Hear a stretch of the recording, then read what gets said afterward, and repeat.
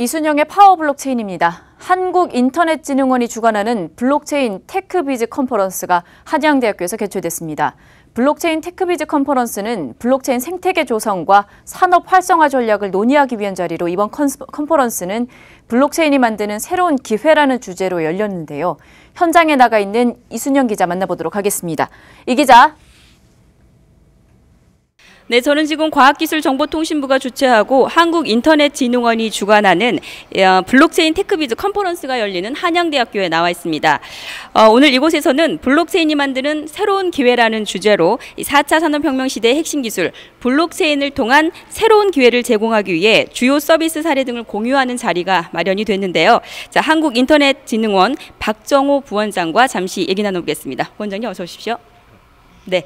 자, 한국인터넷진흥원에서는 어, 이 블록체인 테크비즈 이 컨퍼런스를 지난해부터 계속 개최해 온 걸로 알고 있습니다.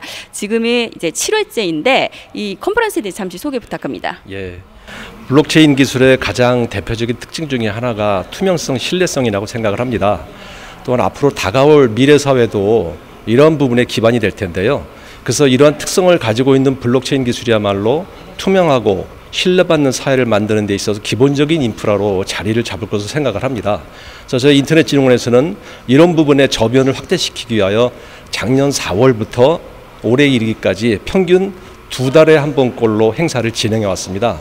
그 결과 지금 이 블록체인 행사가 국내 산학 연관 전문가들이 모여서 정보를 교류하는 공유의 장으로서 어, 자리를 잡았다고 말씀을 드릴 수가 있겠습니다. 앞으로도 저희 인터넷진흥원에서는 이 행사를 뿐만 아니라 어, 블록체인 관련된 제도나 정책, 기술, 보안에까지도 이르기까지 전반적으로 많은 부분에 대해서 노력할 것을 말씀드리겠습니다. 네, 실제로 컨퍼런스를 통해서 많은 좀 효과들이 있었습니까? 예, 그렇습니다. 어, 첫 번째 행사를 진행할 때는 그 이거에 관심을 가지고 있던 사람들이 그렇게 많지 않음을 느꼈는데요. 행사를 진행하면서 또 지방에 순회를 하고 행사를 진행하면서 어, 행사가 진행될수록 많은 분들이 관심을 가지고 어, 행사에 참여하는 모습을 볼 수가 있었습니다. 네, 앞으로도 기대 부탁하겠습니다. 고맙습니다. 네, 감사합니다. 자, 계속해서 오늘 강연을 맡은 한양대학교의 오현옥 교수와 함께 얘기 나누겠습니다. 교수님 어서 오십시오. 네. 오늘 주제 강연이 블록체인과 프라이버시 보호라는 주제로 이제 강연을 하실 텐데요. 어, 블록체인에 있어서 프라이버시 왜 중요한 건가요? 어, 블록체인에서 프라이버시는 매우 중요합니다. 어, 예를 들어서 어, 저희가 투표 시스템을 생각해 볼 수 있겠는데요.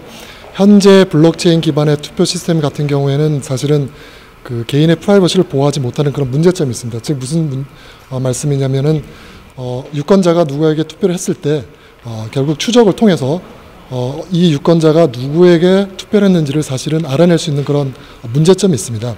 어, 따라서 이런 그 프라이버시를 보호하기 위해서는 이제 여러 가지 기술을 사용해야 되는데 어, 그런 기술을 어, 어떻게 현대의 그 고급 암호 기술을 써서 어, 저희가 프라이버시를 보장하는 어, 그런 투표 시스템을 개발할 수 있는 데 대해서 어, 오늘 말씀을 드리도록 합니다. 네. 네. 어, 오늘 유익한 강연 기대하겠습니다. 고맙습니다. 네, 감사합니다. 자, 지금까지 블록체인 테크비즈 컨퍼런스 현장에서 아시아경제TV 이순영입니다.